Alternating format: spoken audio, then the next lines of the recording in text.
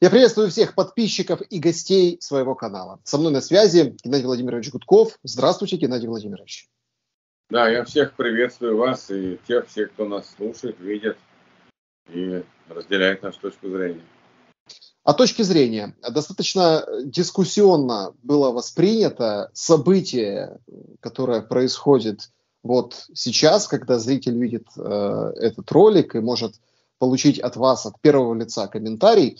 Это меморандум трех организаций, э, оппозиционных путинскому режиму, Легион Свободной России, РТК, НРА, а эти э, организации в Киеве, время и место, кстати, засекречено до последнего момента для журналистов, э, собираются для того, чтобы объединиться и взять в руки оружие и пойти, собственно, воевать против путинского режима.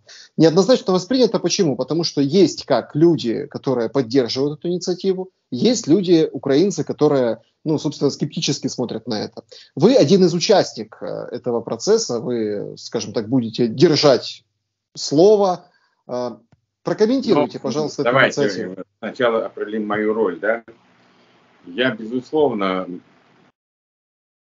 хороший знакомый товарищ Ильи Пономарева, во многом мы с ним единомышленники. Я отношусь к его инициативе с пониманием.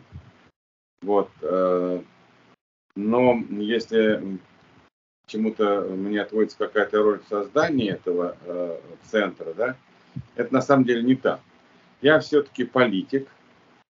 Я э, пока на сегодняшний я признаю право россиян, те, которые действительно считают путинский режим токсичным, враждебным и прочее, я признаю право за россиянами э, взять в руки оружие и вместе с украинцами, вместе с украинскими вооруженными силами, там неважно, как они будут интегрированы в эти подразделения, или это будут свои собственные подразделения, э, с оружием в руках открыто бороться с путинизмом на поле боя. Я признаю это право, считаю, что каждый россиянин, кто желает, может и так сказать, считает это важным для себя, может это сделать, имеет абсолютно полный право. То, что Илья Пономарев взял на себя функцию, э, скажем так, организации вооруженного, даже не сопротивления, вооруженное сопротивление идет от Украины, от ее вооруженных сил, от народа, народного ополчения. Кстати говоря, я э, входил в состав вот этого территориальной обороны, территориального ополчения и держал в руке автомат, я понимаю. Вот, э, ну, конечно, Вопрос, э, он, э, я признаю право. Если он хочет заниматься этим вопросом, безусловно, я разделяю его идеи, мысли и так далее. Но я все-таки политик. Моя задача бороться словом. Я провожу деятельность свою легально. И более того, мы с сентября месяца сейчас формируем так называемый объединенный секретариат в Брюсселе. Э, это дипломатическая, политическая работа, которой я буду заниматься в ближайшее время. Но э, я не считаю, мы с Ильей, конечно, находимся в диалоге, и э, я немножко для меня неожиданно, что я там стал одним из самых э, главных участников этого процесса. Э, ну, э, может быть, Илья воспринял наши, скажем так, дискуссии за то, что я готов участвовать в этом процессе, но все-таки я готов больше участвовать в политическом процессе, признавая за ребятами, кто это желает сделать, такое право. Что касается ситуации внутри России, на мой взгляд, она ситуация совершенно не готова. Э, вот нет э, почвы, серьезной почвы для возникновения какого-то там подполья, каких-то боевых групп и прочее, прочее, прочее. Я, э, к сожалению, так говорю, потому что ну, я не вижу готовности народа к сопротивлению Э, в том числе там, не, не важно какой формы, ну какого-то силового сопротивления, не вижу. Более того, я считаю, что это не должно быть э, искусственно создано. Почему? Потому что это развяжет руки ФСБ. Это разве они вот уже, мы знаем, они действуют методом провокации, но э, были такие безобидные молодежные там какие-то тусовки, которые были потом э, внедрены туда провокаторы от ФСБ, они им там написали какие-то уставы, что-то такое, и ребят потом арестовывали как какую-то там террористическую организацию с очень большими сроками. Причем эти ребята ни, ни сном, ни духом не помышляли о каком-то там вооруженном сопротивлении, а взрывчатка, все это было придумано, все это нужно было для того, чтобы там звания, медали, карты, так сказать, должность распределить и показать значимость. И вот мне кажется, что сейчас говорить о каком-то э, движении внутри страны, тем более силовом, на мой взгляд, преждевременно. И в этом мы с Ильей спорим об этом. Мы спорим, да. и я не Он неоднократно, неоднократно заявлял, и даже э, в формате да, вот, пресс-релиза презентации э, всего мероприятия есть упоминание некой организации, которая действует на территории России, но она уполномочила Илью Пономарева заявлять. Ну, да, да, да возможно, возможно. Я сейчас не берусь ни, ни подтверждать, ни опровергать, потому что я просто не знаю. Да если бы я знал, я бы тем более это не, не говорил. Вот. И поэтому я вот, например, бы сейчас, э, признавая право на вооруженное э, сражение с режимом Путина на территории Украины, э, россиян, которые это желают, я бы, например, сейчас, вот, я не понимаю эту позицию, ведь Украина же не может э, организовывать там партизанскую, как там говорят, войну, да, вот отличить партизанскую войну от террористической невозможно. Но я просто напоминаю, что, допустим, в той же Родезии, который сейчас называется Зимбабве, там была организована рельсовая война. Вот партизанская. Методы партизанской войны, методы террористических атак, они абсолютно идентичны. Различить одно и другое невозможно. Различается по целям и по справедливости. Да? По справедливости. Потому что, э, ну, при наличии... Мы сейчас вот, допустим, палестинцы считают, что они ведут национально-освободительную борьбу, а израильтяне считают, и, ну, что это абсолютное проявление террора. Вот а, никаких а, четких международных определений не, не, нет ни, одна, ни одной структуры международной, которая бы четко разграничила одно от другого. И вот в этом проблема, она проблема в том числе для Украины. Потому что ведь Украина, понятно, она может привлекать иностранных граждан э, для своих вооруженных сил, желающих сражаться со злом, да, и, э, ну, это нормальная практика, это, в общем-то, многие страны это делают, и делали, и в истории это происходило, это происходило в Советском Союзе, это происходило во многих странах. Это одна ситуация. Тут можно, как бы, так сказать, понять, признать это право и так далее. Но что касается э, другого, то это уже совершенно, совершенно иная история. Я считаю, что для нее сейчас не созрели условия. В России не созрели условия. Поэтому, как бы ни получилось это Э, как говорится, вместе вот с той идеей, которую я признаю, правоту э, формирования каких-то там вооруженных подразделений, куда могут вступать россияне, это пожалуйста. Но вот э, со всем остальным это, в общем-то, как говорится, тут я к этому, я не, не очень одобрительно к этому отношусь. Искусственное создание тех каких-то партизанских структур, которые будут что делать, они что будут? Они будут нападать на каких-то людей, они что-то будут взрывать, они будут куда-то стрелять. Но э, если это будет как, какая-то, как вот, допустим, какая-то организация объявляет войну режиму, она предупреждает. Ну, тут еще что-то, но, в общем-то, я не думаю, что Украина будет это поддерживать. Потому что для Украины важен международный имидж, международная поддержка. И вот здесь могут быть противоречия, э, в том числе э, в позиции западных стран, которые стоят на стороне Украины, помогают, вооружают, обучают и так далее. И вот э, осознание того, что формируется какое-то подполье, которое будет действовать э, методами э, ну, таких вооруженных вылазок. Ну, смотрите, Я, вот, например, а, да. О методах, э, ну, понятно, что будет заявлено, и, скажем так, мы прочтем все в меморандуме, он будет опубликован вот уже фактически в ближайшие часы. И, конечно, обсуждение пройдет. Э, вы, как один из участников э, обсуждений, ну, скажем так, эксклюзивно отвечаете на мои вопросы, хотя я понимаю, что... Я, на самом деле, так. Вот я участник диалога. Да. Я не участник процесса. Участник диалога, да, мы с Ильей находимся в контакте, он э, мне звонит, я ему звоним, каким-то вопросом обсуждаем, спорим, да. Я, например, сказал, что Илья, это чрезвычайно опасная штука. Э, я очень хорошо знаю, э, в каком режиме живут, при каких рисках живут люди, которые встали на этот путь. Ну, мы давайте вспомним там Ясера Арафата, который там за там, последние 15 или 18 лет, я не помню точно, он ни разу не ночевал дважды в одном месте. Ни разу не ночевал дважды в одном месте. Постоянно менял там явки, пароли, телефоны. И то говорят, что все-таки его отравили. Говорят, что его все-таки отравили. Это не естественная смерть, который умер там 70 лет. Э, по большому счету мы понимаем, что э, там организации, которые есть, ну так, террористического плана, и там уже постоянно идет охота на их лидеров. Э, и эта охота не всегда безуспешная, я бы так сказал.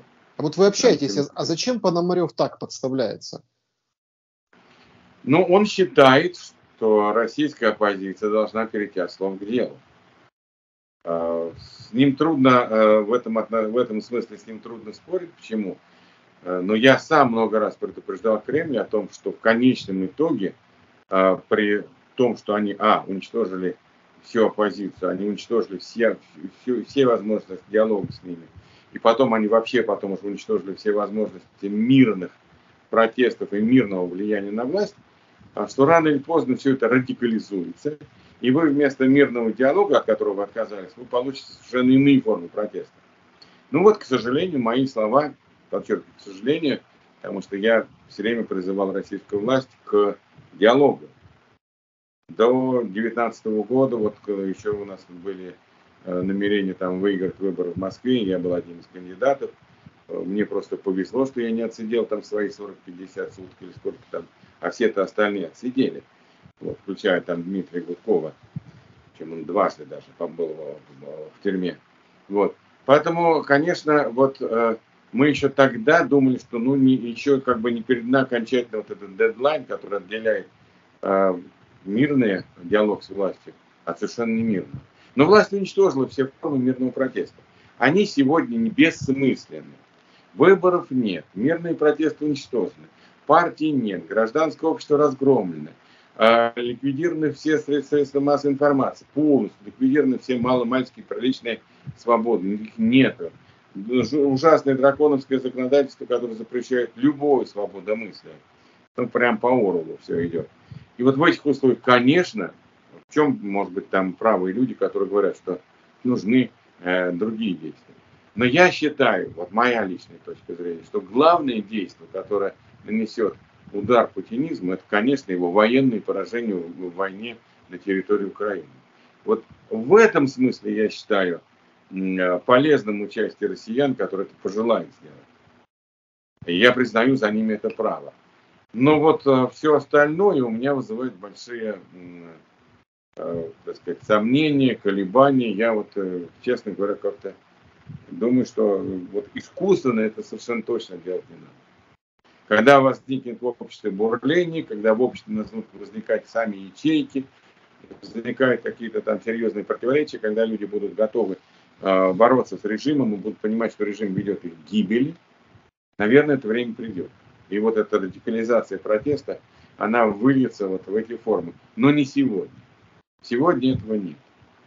Вот ну, э, это... я хотел бы, чтобы это понимали все, в том числе мои коллеги там по оппозиции, включая Э, Илью Пономареву, которому я благодарен за огромную поддержку, которую он оказал Дмитрию Гудкову в сложнейшей ситуации. Ну и вообще, в общем-то, нас связывает большая история оппозиции в Думе, э, работы э, после Думы, протесты, митинги. Все это мы делали вместе, вместе мы на все выходили. Но я пока вот, честно говоря, не, не, совершенно не готов подписываться Э, под чем-либо иным, кроме признания права за россиянами бороться с оружием в руках против путинизма вместе с украинцами. Но для этого должна быть Украина готова. Я послушал эфиры там э, э, с Арестовичем, послушал эфиры с другими людьми, э, близкими к власти украинской. Там действительно есть серьезные законодательные проблемы в Украине, вплоть до того, что нельзя брать в армию э, граждан э, государства-агрессора. Ну, вот как-то надо это выходить из этой ситуации, если действительно Украина заинтересована в притоке определенной части россиян, которые готовы бороться с путинизмом. Такие люди наверняка есть. Вот. Это первое. И второе, наверное, там надо статус какой-то иметь, чтобы люди, попадая в плен, не выглядели и не были в статусе, так сказать, там незаконных вооруженных формирований, которые занимаются какой-то э, по законам, э, выпадает из конвенции о правах военнопленных и могут там быть признаны террористами. Вот эти вопросы надо решать. Они должны быть решены в законодательном поле, э, в законе, в каком-то статусе, тогда, наверное, те россияне, которые пожелают сражаться с, с оружием против Путина, ну, они получат соответствующие правовые гарантии, по крайней мере, правовые, правовые рамки. Да, я вам очень благодарен за то, что вы пояснили эту позицию, свою персональную, и сакцентировали на очень важном аспекте, что мы, несмотря на то, что у нас идет война, несмотря на то, что мы сейчас в режиме военного положения, которое продлевается и продлевается, мы все равно правовое государство, и мы, ну, собственно, движемся по этим канонам. Мы, скажем, не э, какие-то, э, скажем, ну вот, ополченцы, да, каким-то непонятным э, тоталитарным лидером. Э, я просто хочу спросить у вас, а нет ли параллели здесь э, между тем, что происходило в Беларуси в 2020 году? Когда координировалось все из Польши? Ну, не координировалось все из Польши. На самом деле, э, ну, Лукашенко же не ожидал, что против него проголосует 85% избирателей. Он сам до этого довел. И там как раз наоборот не хватало никакой координации. То есть народ-то победил. Революция мирная победила. Но реализовать свою победу они не сумели. Причем это не обязательно нужно было проливать кровь, брать в руки оружие. Преимущество, ну, есть такая работа там марксизма и восстания Ленина. Я там сейчас не, не даю оценки фигуры Ленина, но некоторые его работы неплохо перечитываю. И там он всегда говорил, он писал там, что революция там возможна при таких таких условиях. Один из условий он писал гигантский перевес сил. Вот этот гигантский перевес сил в Беларуси был, когда миллионы готовы были отстаивать свободу и право свое формировать власть в Беларуси, да? Но не нашлось тысячи или двух тысяч людей, которые активно действуют, а, без оружия они могли тогда еще действовать, техникой там, вы, вынести ворота тюрем, никого там не убивая и не расстреливая, а, там блокировать э, полностью э, дворец, э, там, это резиденцию президента бывшего Лукашенко – отключить мне свет, связь, то есть показать, что власть перешла в другие руки. И не договариваться, а надо было издавать указы новому президенту. И ну, я, я и не виню Светлану, потому что, Тихановскую я имею в виду, потому что ну, она новый человек в политике, она вообще, конечно, не имеет такого опыта. Но вот те люди, которые ее окружали, они должны были это понимать в этот момент, они должны были готовы, быть готовы к победе. Они оказались не готовы к победе на выборах, причем эти выборы были ну, так сказать, достаточно убедительно. Понятно, что результат специфицировали, но все понимали, что э, Светлана Тихановская избрана народом, и она должна была действовать как президент, но ей должны были подсказать, объяснить. Тогда силовой, э, тогда было абсолютно морально, психологическое и преимущество на стороне народа, и вот э, вот этот гигантский перевес сил был. Но не нашлось тысячи людей активных, которые готовы были действовать и додавить э, вот этого диктатора, взять власть отдать приказы, чтобы там силовые структуры перешли, отдать приказы, чтобы там э, полиция перешла просто целыми подразделениями. Никто там форму снял и сжег. Хрен и толку с того, что ты сжег, а ты оставил там и пистолет табельный, оставил оружие и прочее. А вот вы перейдите целым подразделением вместе с оружием, вместе с, с техникой и прочее, тогда это будет поддержка серьезной народных масс. А так то, что вы там, ну, ушли вот так вот из органов, бросили там силу или там форму, но это, к сожалению, как мы знаем, ни к чему не приводит.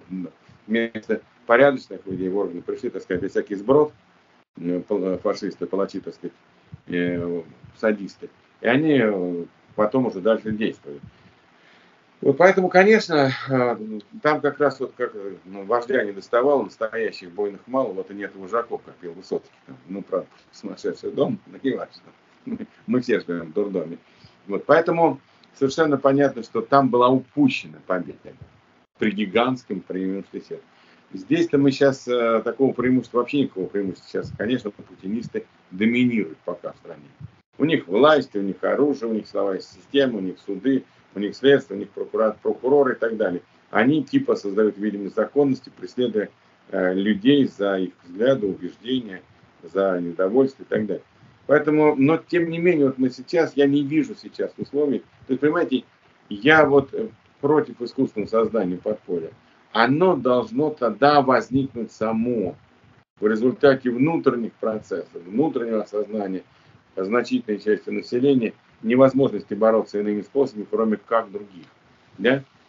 И вот если бы оно возникло само, там кто-то бы, из, э, какие-то люди наиболее отчаянные, из оппозиции стали бы помогать, координировать, это был бы совершенно э, другой процесс. Но мы этого не видим в России.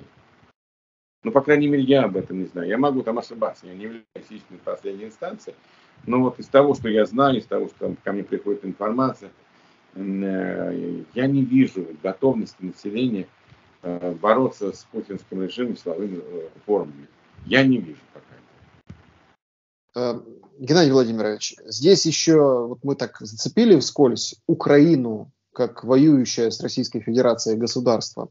Присутствие советника офиса, не главы офиса, а офиса президента – Алексея Арестовича, именно так его все-таки после долгих там, ну, обозначила канцелярия, да, назовем это так, а, советник офиса президента, собственно, советник Геращенко, да, а, Бывший замминистра, а, да. Да, Антон, бывший замминистра.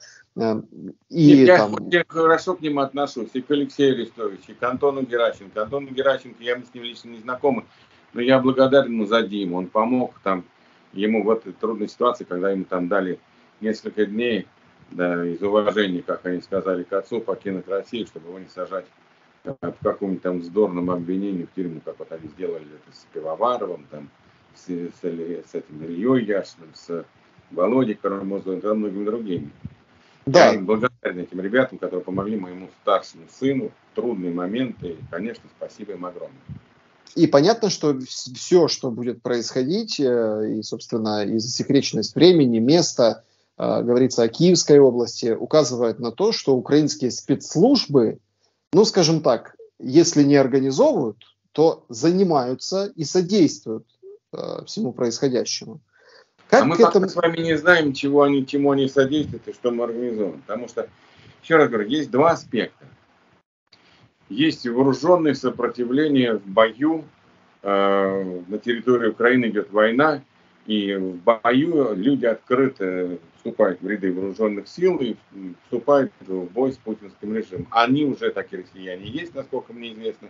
И есть заявления там несколько тысяч, если верить Арестовичу и так далее. Это не вызывает никаких сомнений, э, как бы право вот это делать у россиян, оно есть, я тоже сказал, что нужно самой Украине определиться вот в этой, э, так сказать, деятельности и какой-то статус сделать, потому что люди не могут без э, юридической защиты э, вступать в бой. Да? Если Украина хочет, чтобы такая помощь военная была существенной вооруженным силам, если она хочет, чтобы возникали там какие-то русские батальоны, которые готовы сражаться с Путиным, ну, наверное, надо это делать на уровне государственной политики, Э, по, по всем моментам. Там финансирование, наверное, какое-то можно найти под это. Я думаю, что оно э, решится. И нужно найти под это и значит, форма организации, и место и там тренировочных и прочих, так сказать, там э, лагерей и прочее, чтобы люди не, не приходили. Там, я вчера, так сказать, там что-то там мешки ворочал, а сегодня он должен там управлять какой-нибудь там системой огня, да? То есть это, конечно, должна быть подготовка, это все должно быть организовано. Это, безусловно, деятельность государства или, может, даже государств, которые помогают Украине подготавливать ее армию и заодно они могут готовить там какие-то, предположим, батальоны, которые Украина будет формировать. Это я все понимаю. Это, как говорится, тут никаких вопросов нет. Такая практика, она существует во всем мире. Вопрос в том, там же ведь говорится о том, что вот и на территории России будет война, борьба и так далее – вот тут у меня есть, э, как бы, так сказать, э, своя точка зрения, она не совпадает, наверное, ну, по крайней мере, с декларируемыми определенными, с определенными декларируемыми моментами. И я не скрываю. Ну, я не могу это скрывать, потому что вопрос серьезный. Да, это так, поэтому мы, собственно, с него начали. Вот половину нашей встречи о нем сейчас и э, говорим. Я финальный по этой теме задам вопрос. Mm-hmm. Все-таки вот заявленная цель – свержение режима Путина. Это правильная цель. Достижима цель эта правильная. цель? Цель правильная. Раз Путин не, не оставил никакого варианта иного, кроме свержения. Свержение может произойти либо в результате дворцового переворота, каких-то внутриэлитных расколов, либо э, это может быть э, революция, да, Э, то есть, э, ну, ну либо элита, либо народ. Вот два варианта. И, к сожалению, мирные способы, они исчерпаны. Поэтому либо элита, дворцовый переворот, он тоже, это не война, да, ну, либо какая-то революция возникнет. Какой-то там революционный, какое-то силовое движение масс, которое свергнет этот режим, потому что он ведет их в тупик, он ведет их к гибели. Вот два варианта осталось. Больше ничего. Раньше был третий, когда мы могли вырулить на пусть там плохой, но мир, пусть какой-то но, там нервный, но диалог, и мы могли вырулить на какие-то... Я вот считаю, что в 2012 году Путин э, сам себя загнал в угол. В 2012 году в России мы сидели э, э, после вот этих двух крупнейших митингов, я участвовал в организации и был во всех этих комитетах. Вот. И Вы болотную имеете в виду? Мы участвовали. А? Болотную 11, имеете Ну, а в 2011 году первый крупнейший митинг, там по 100 тысяч. Э, перед вами сидит один не только с организаторов, но еще участник переговорной группы с властью по поводу этих митингов. Я все это знаю. И там и, и Боря Немцов был, и Володя Рыжков был, и многие другие ребята были. И вот мы ходили, и мы с властью очень так вот довольно нервный, серьезный, но разговор все-таки был. И мы до чего-то там договаривались, чтобы не воевать. Вот тогда, в 2012 году, Путин пошел совершенно нецивилизованным путем. Если помните, ну, вы не помните, а я скажу, 24 декабря 2011 года на огромный митинг, где, кстати говоря, Алексей Навальный выступал, и многие другие, вот, э, мы все там были на сцене, все общались, э, пришло к нам Кудрин, ну, пришла Ксюша Собчак, выступала там, да, тогда она задала тренд, что это модно ходить на эти митинги, чтобы ОМОН не должен его игнорировать. И в этом ее большая заслуга. И пришел к нам Алексей Кудрин. Мы ему дали слово, он выступил со сцены. Понятно, что там многие не поняли. Но многие не поняли, потому что, ну, просто не поняли. И после этого у нас было несколько встреч с Алексеем Кудриным, вот нашего такого комитета протестных этих действий. Собирались мы там пару раз у Володи Рыжкова в офисе.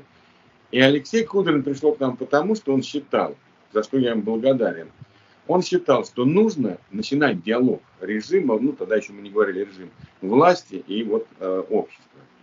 И мы ставили перед Путиным, в общем-то, одну простую задачу, что, ребята, вы полностью сфальсифицировали выборы, вы их проиграли, ну, Единая Россия проиграла. Но вот вы, Владимир Владимирович, гарант, гарант. Давайте так, мы проведем новые выборы, мы сформируем парламент, который действительно отвечает политическим предпочтениям граждан, мы, так сказать, накажем там э, фальсификаторов, и больше мы так делать не будем. А вы, как гаранты, будете эти договоренности наши э, гарантировать, э, сохранять, так сказать, и поддерживать.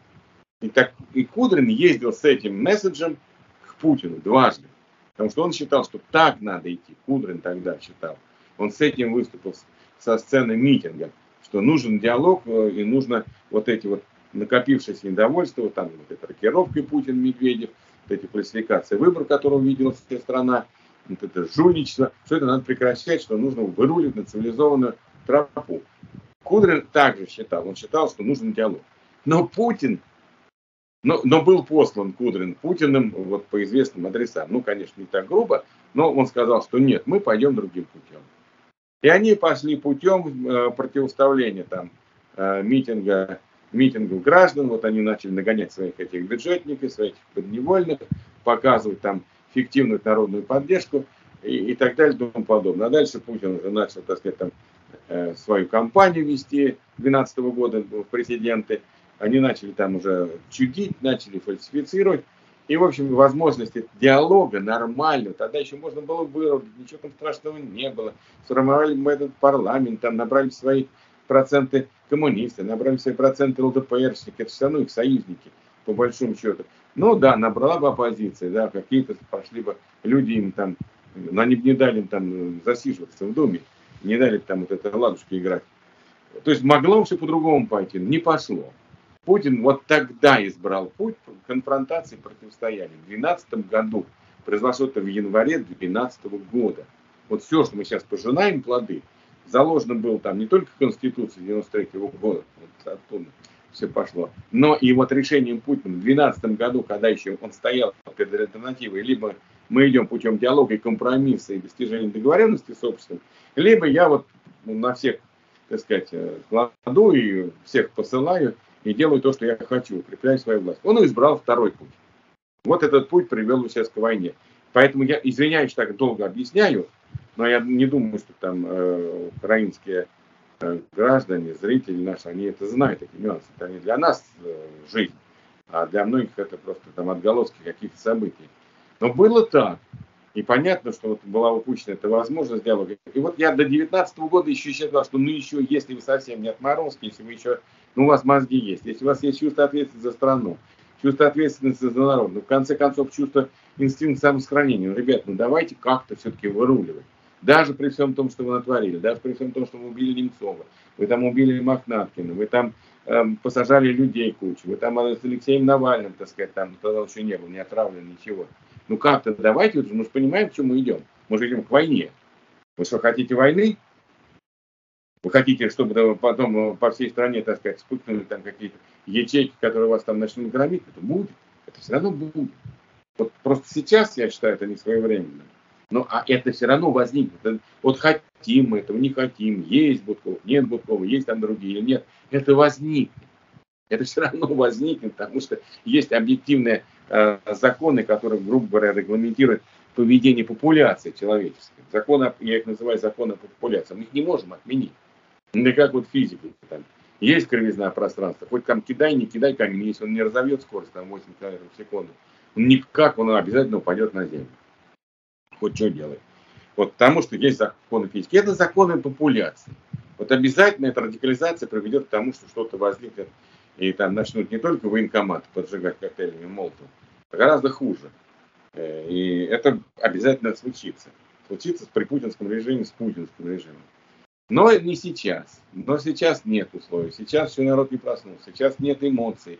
Сейчас еще не состоялось военное поражение когда вот это все пройдет, там, наверное, что-то в России возникнет более радикальнее. Но вот я думаю, что ускорять этот процесс не нужно. Ускорять это можно только военным поражением. Российская армия, Путин, давайте так, не российская армия, это путинские наемники, путинская армия, которая пришла воевать против Украины, против украинского народа. Ну, да. не знаю, насколько многословно, долго, но если... Да, да. Я, ну, мысли, потому мысли... что мы этим живем уже много лет. Да, мысль ваша понятна. Давайте о, скажем так, поражении, близящемся или не близящемся.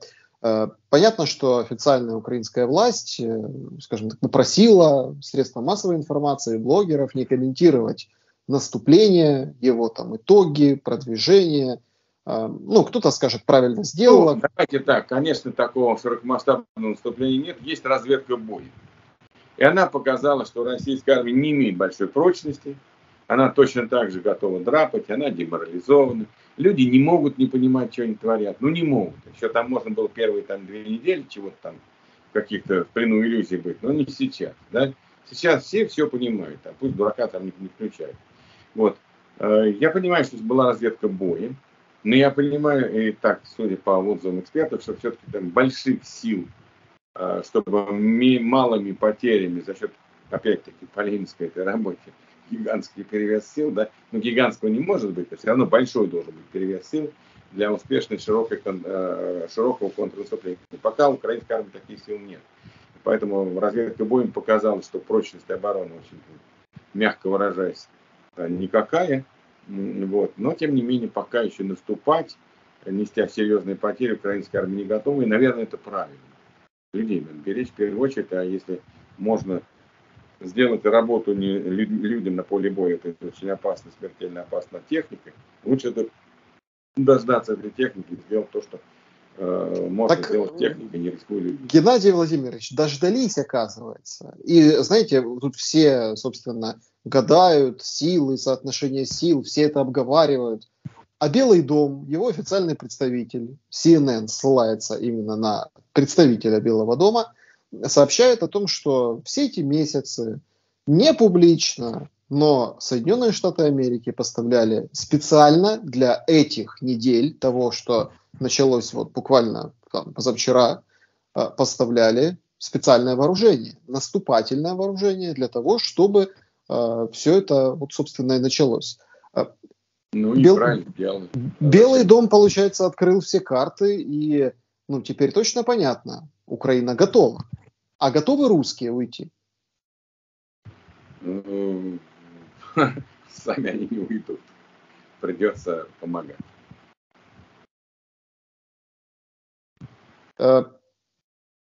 Э, страх вы почувствовали в сообщениях там из оккупированной территории Украины, из каких-то сообщений о том, что, вот, например, там Стримаусов, да, его там уличили, что он стоял не в Херсоне, а в Воронеже записывал обращение для херсонцев, там уже, ну, скажем так. Ну, нет, конечно, местность. люди боятся. Да, сейчас что говорить? Конечно, там будут э, бежать и драпать, и семьи вывозить и прочее. Это понятно. Непонятно другое. Ведь э, сегодня российские вооруженные силы, к сожалению, на Запорожской атомной станции. И сегодня у Путина есть ядерное оружие. Вот эти два фактора, они пока еще непонятны. Я надеюсь, что они никогда не сработают. Я надеюсь.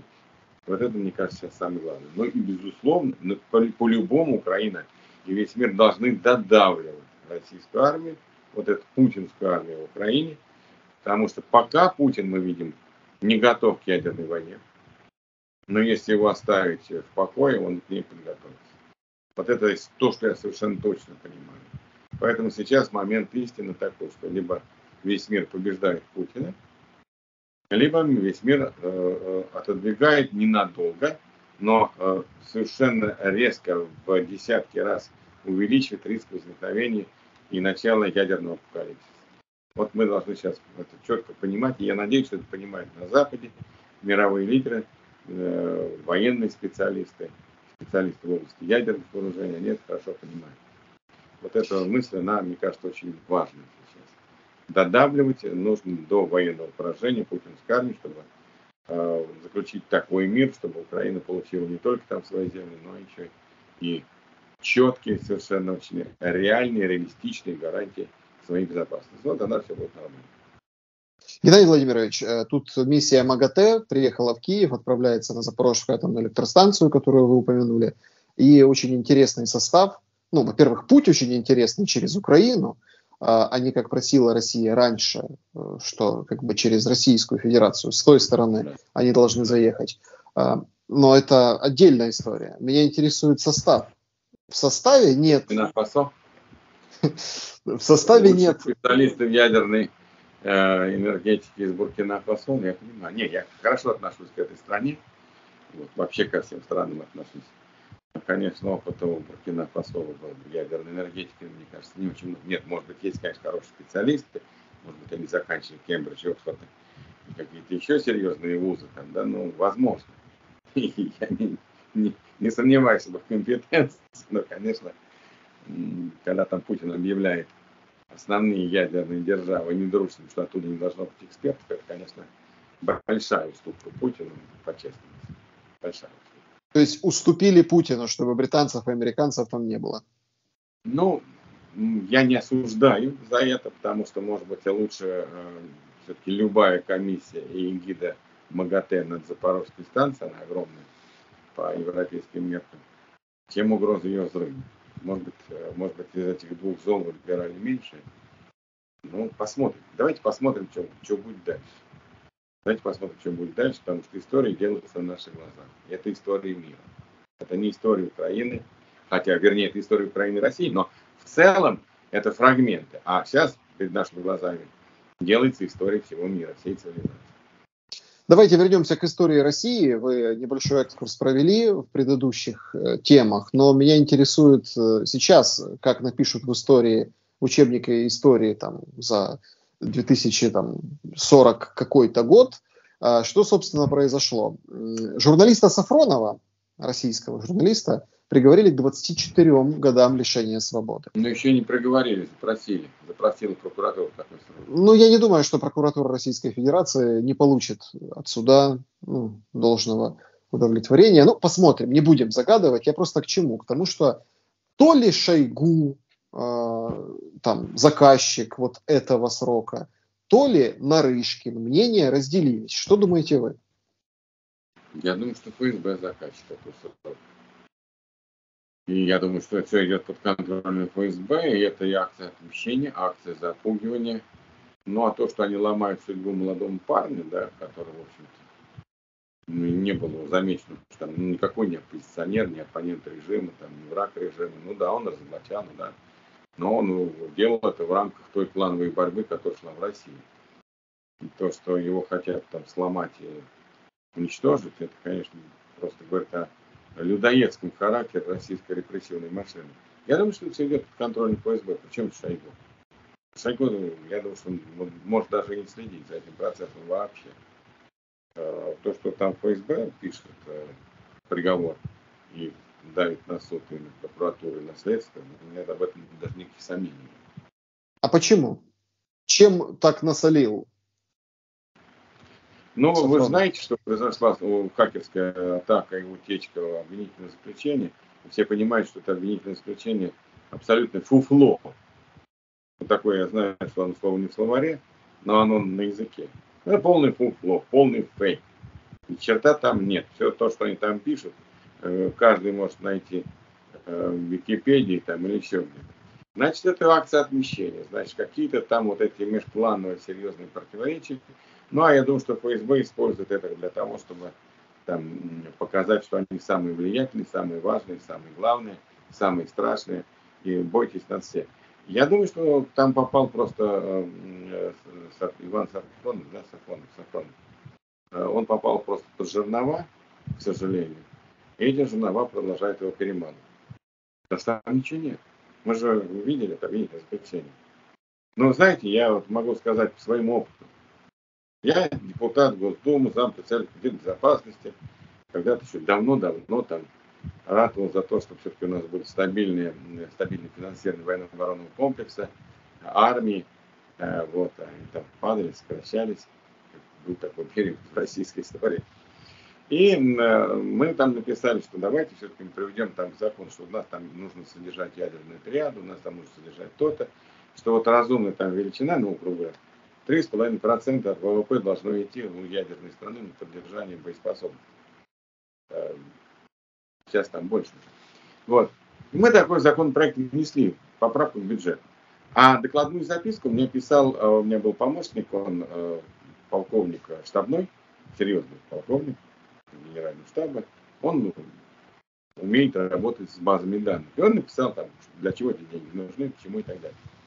Ну и вот мы отдали закон, законопроект. Думаю, сидим, ждем, там позвонили статс-секретарю, говорим, ребята, вы хоть дурака не валяйте, поддержите, мы же в целом там за армию, за оборонный комплекс, чтобы ну, все это было нормально. Ну, мы какой-то 2004 год примерно. Может, я, даже раньше еще. Ну, наверное, 2003-2004. Звонок. Геннадий Владимирович, здравствуйте. Аппарат правительства. Такой-то. Да, очень приятно. По этой, по, по, по вертушке там. Кремлевская. Одной, там же несколько кремлевских вертушек. Кремлевская одна, там два, у меня вторая стояла. Геннадий Владимирович, а вы знаете, что вы разгласили государственную тайну? Я говорю, опа. И где же я ее разгласил, если не секрет? А вы вот э, законопроект такой вносили? Я говорю, вносили. А вы пояснительные записки знаете, что вы написали? Я говорю, я знаю, но э, расскажите, если вы лучше знаете. Я говорю, мои помощники э, значит, работали с этой докладной запиской. Вы дали прямым текстом на положение армии доклад министра обороны на секретном заседании Совета Безопасности, словом слово. Я говорю, как я ему мог дать доклад, когда я там не был.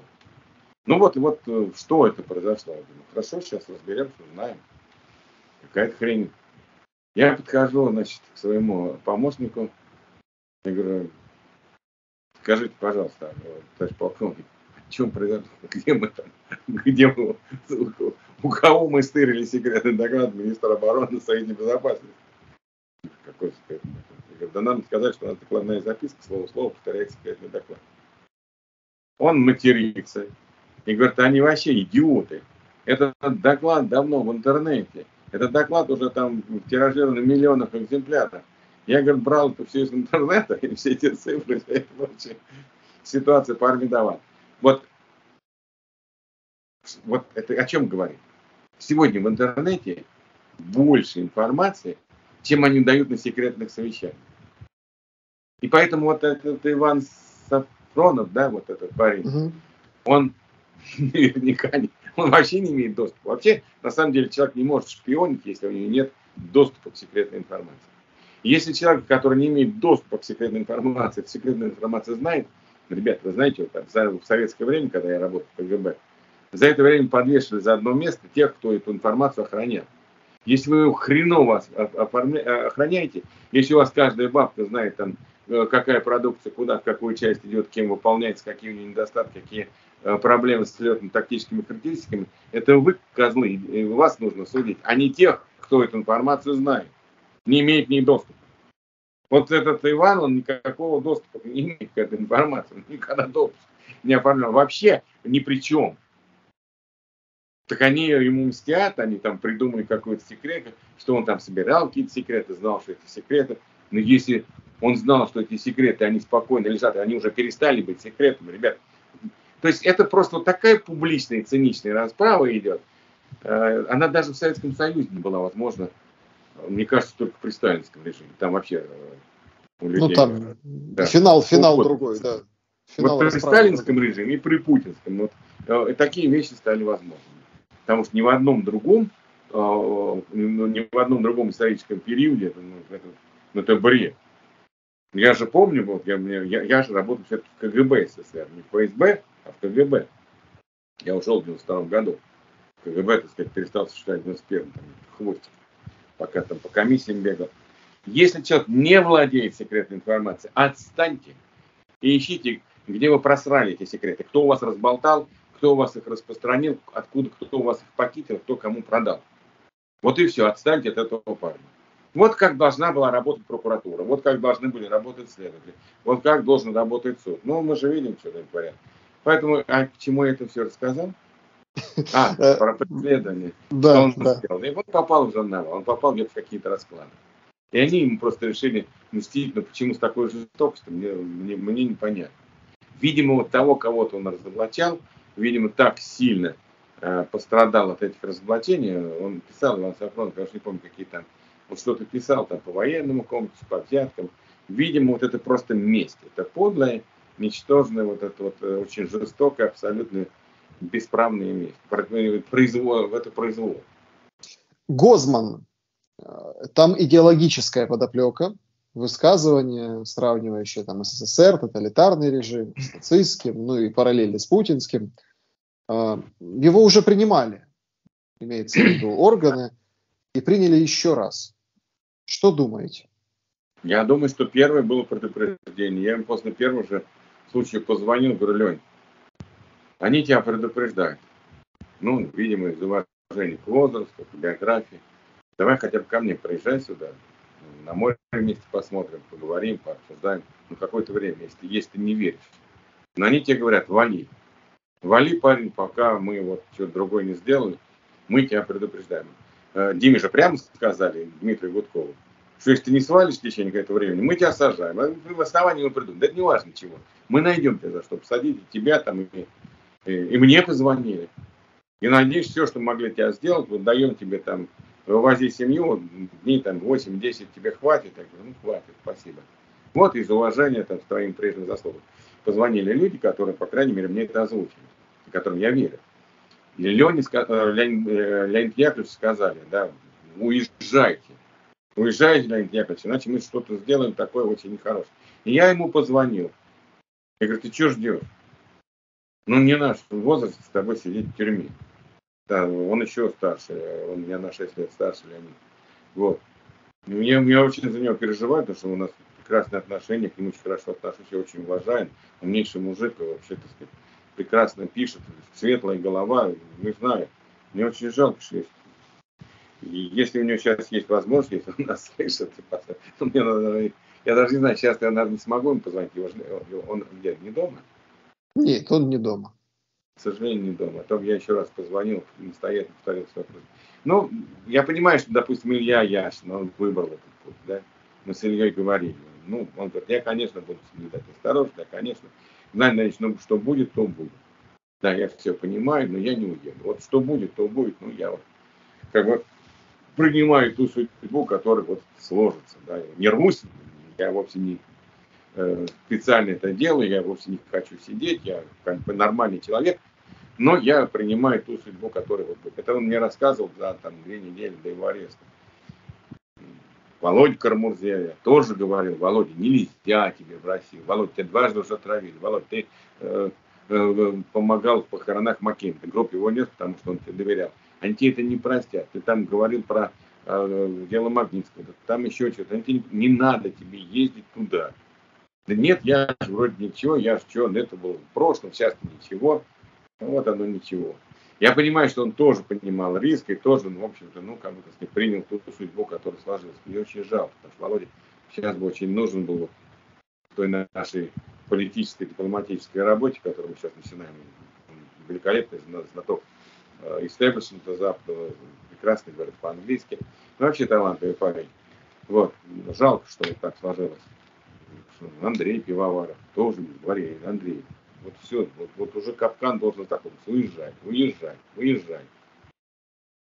Что мы можем сделать? Вот э, Леонид, я считаю, что если он все-таки вот, голос разума, так сказать, послушает нас, я буду очень рад его видеть в любой стране мира. С, с живым, здоровым и на свободе. Бороться, да. конечно, не перестанет. Э, мы вот как бы начали с борьбы скажем так, э, россиян против режима. Вот сейчас вот закончили этой темой. Но я сейчас обращаюсь ко всем подписчикам. Друзья, поставьте лайк этому видео, не забывайте. Много смотрят без подписки, подпишитесь. Так удобнее а, со всеми экспертами, как говорится, держать связь. Колокольчик еще и помогает для того, чтобы получать уведомления о выпуске новых видео. Напоследок я хотел бы к вам обратиться как, ну, скажем так, э, к опытному КГБшнику, да, или ну, скажем, человеку, человеку с опытом, да, вот так. А, 30 лет спустя называется. Как, как раз ровно 30 лет назад. Представляете, как, как, как у Александра Дюма, да, все, все, все как все спустя 30 лет. А, смотрите, новость, которая, ну, вот так вот мельком пробежала, но достаточно у меня вызвала, ну, такой живой интерес в том плане, что, что происходит в Кремле. А, российские спецслужбы запрашивают у Сербии генерала Наумова, которого обвиняют у нас в госизмене по там, сливу информации по Чернобыльской АЭС. А, ранее там сообщалось и распространялись разные слухи о том, что он с Иваном Бакановым, бывшим а, главой СБУ, вроде бы как в начале войны уехал, позже выяснилось, что Баканов не уезжал, он сам уехал, и его на границе прихлопнули с крупной суммой денег. Ну и, собственно, сейчас он в Сербии. Так вот, э, дело не в том, что Россия его запрашивает, а цель, с которой Россия его запрашивает, показания на Зеленского. И у меня ввиду этого возникает понятный вопрос. Э, а чего такого хочет узнать Кремль, спецслужбы Кремля о Зеленском от Наумова, если, ну, по большому-то счету, на Зеленского там было несколько покушений, и, соответственно, ну, вряд ли там какие-то свидетельства которые будут доноситься из Москвы, от Наумова, если это все провернется, конечно, ну, как кто-то воспримет серьезно. В чем игра? Можете растолковать? Наумов это те генерал российский или СБУ? Украинский, украинский, украинский СБУ, да. Украинский. А как Россия может требовать как гражданина Украины? Это просто по, по беспределу, потому что Сербия лежит под Путиным, как они считают, да? Но любой генерал украинский представляет для них интерес, безусловно. И, может быть, эта цель, если, ну, там же его подозревают, что он вроде типа был агентом э, Кремля, да, э, генерал, там крупной суммы денег. Ну, может быть, чтобы спасти своего агента, это первая версия. Вторая версия, э, какую-то информацию, которую он мог обладать и не, не, мог, не успел передать. Ну, что-то там, мне хочется, чтобы он был в их распоряжении под контролем. Может, он может сдать что-то где-то как-то заговорить. Они на всякий случай вот действуют, чтобы он там не заговорил, не сказал что лишнее, не сдал кого-нибудь. Возьмет он сейчас, раскроет, расскажет, а знаете, вот он знает точно, что там ГРУ готовил две группы по устранению Зеленского. Возьмет и скажет. И придет дата, фамилии, цифры, так сказать, и э, должность. Может быть, они этого боятся. Я не, я не знаю, как, как, каким знанием обладает этот генерал, но в любом случае а, вопрос-то в Сербии сейчас стоит так, вот как у нас в Болгарии стоял вопрос. Болгария демократическая страна, европейская, или она путинская, так сказать, плацдарм. Это я вот имею в виду дело Альчина такое в Болгарии. который потребовал России экстрадировать. Человек, который восстал против войны, совершил массу публичных действий против войны, э, был волонтером, помогал там украинским семьям и так далее. А его там обвиняют в каких-то экономических преступлениях 2015 года, которые, по всей вероятности, он не совершал, судя по, по материалам. Из моего опыта, в первую очередь, скажу, из своего опыта. Вот. И э, э, перед Болгарией вообще стоял вопрос. Вот, э, если они выдают алчность, значит, Болгария не демократическая, не европейская страна. И одна инстанция э, вынесла решение экстрадировать. Судья с очень плохой репутацией, с э, серьезными проблемами, его там чуть звания не лишили, как мы сказали, за объективность и предвзятость, необъективность и предвзятость.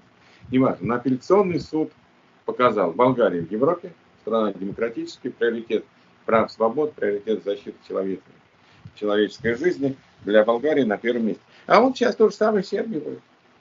То же самое в Сербии. Ребята, а вы определитесь, вы там вроде заявку подали в Европейский Союз, вы куда хотите? К Путину? Вот дорога открыта. Или куда вы хотите? Или в Европу. Ну, решайте. Вот у вас там дело такого-то, там будет генерал по экстрадиции. Ну, посмотрим, да, посмотрим.